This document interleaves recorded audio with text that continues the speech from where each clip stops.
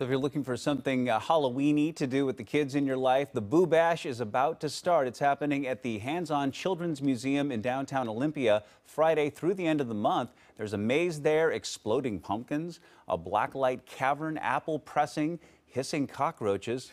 And who doesn't want to hang out with hissing cockroaches? Right. And uh, demos with Dr. Science. And you can uh, wear costumes. You just need to make reservations ahead of time. We have the link to do that at fox13seattle.com. And if the kids have their Halloween costume, you don't have to ask them twice. They want to, you know, put it on, get out Yeah. there, show it off. So Yeah. that'd be an opportunity. Hang out with the hiss- hissing cockroaches. I love Oh. it. Yeah. You know, some of these things are for the parents.